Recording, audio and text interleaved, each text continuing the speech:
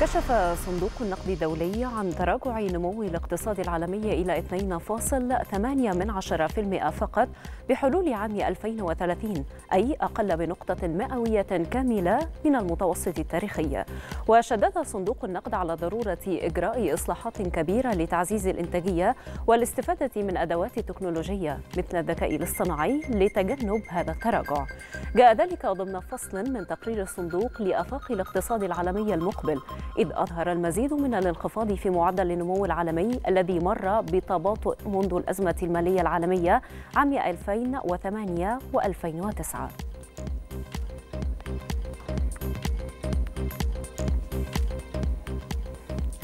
توقعت منظمة البلدان المصدرة للبترول أوبك طلبا قويا على الوقود في أشهر الصيف وتمسكت بتوقعاتها لنمو قوي نسبيا في الطلب العالمي على النفط في العام الحالي. لكنها أكدت أن هناك فرصة لأن يكون أداء الاقتصاد العالمي أفضل من التوقعات لهذا العام. وأضافت أوبك في تقرير شهري أن الطلب العالمي على النفط سيزيد بمقدار 2.25 مليون برميل يوميا في عام 2024 وبمقدار 1.85 مليون برميل يوميا في عام 2025 ولم تتغير التوقعات عن الشهر الماضي. هذا ومن المقرر أن تعقد أوبك بلس اجتماعا في يونيو المقبل لتتخذ قرارا بشأن تمديد خفض الإنتاج أو ضخ المزيد في الأسواق.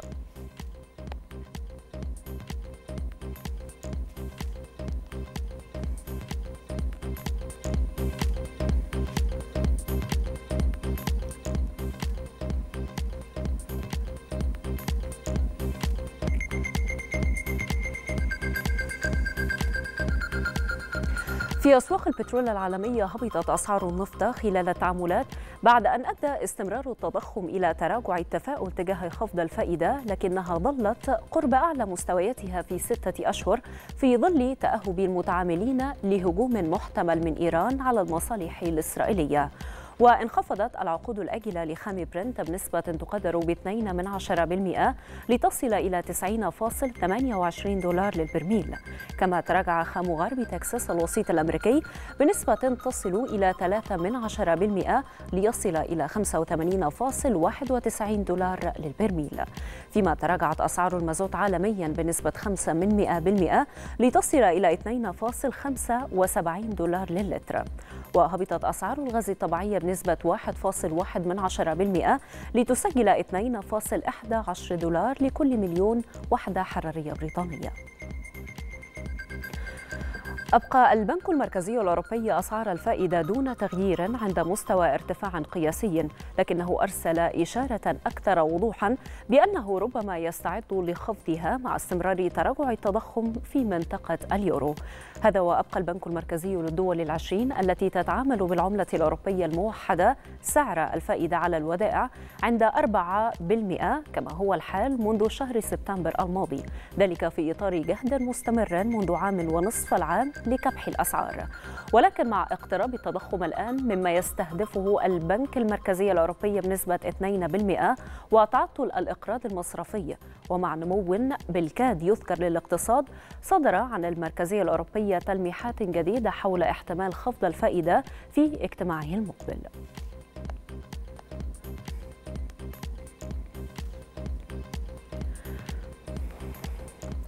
أكدت وزارة الخزانة الأمريكية أن عجز الميزانية الأمريكية تجاوز تريليون دولار في الأشهر الستة الأولى من السنة المالية بدفع جزئي من ارتفاع الفوائد على الدين العام.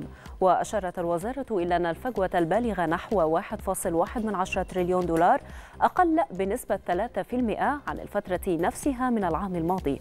وأكدت وزارة الخزانة الأمريكية ارتفاع الإيرادات بنسبة 7% لتصل إلى مستوى قياسي بلغ 2 2.2 من عشرة تريليون دولار.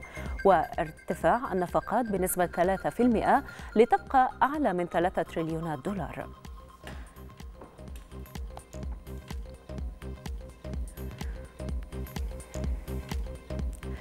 أكدت وزارة العمل الأمريكية تراجع عدد الأمريكيين الذين قدموا طلبات جديدة للحصول على إعانة البطالة الأسبوع الماضي بأكثر من المتوقع. مشيرة إلى أن سوق العمل لا تزال قوية إلى حد ما. لكن الأمر قد يستغرق وقتا أطول بالنسبة لبعض العمال المسرحين للحصول على وظائف جديدة. وأوضحت وزارة العمل الأمريكية أن عدد الطلبات المقدمة للمرة الأولى للحصول على إعانة البطالة تراجع بواقع 11 ألف طلب إلى مستوى معدل في ضوء العوامل الموسمية وبلغ 211 ألف خلال الأسبوع المنتهي في السادس من أبريل الحالي.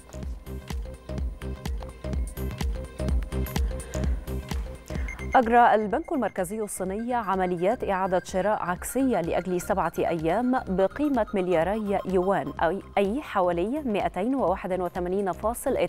مليون دولار أمريكي. وبسعر فائدة يقدر ب 1.8 من 10% وقال البنك المركزي الصيني أن هذه الخطوة تهدف إلى الحفاظ على سيولة معقولة ووافرة في النظام المصرفي. وتعتبر عمليات إعادة الشراء العكسية عمليات يشترى فيها أو يشتري فيها البنك المركزي أوراقا مالية من البنوك التجارية من خلال تقديم عطاءات مع الإنفاق على إعادة بيعها إليها مرة أخرى في المستقبل.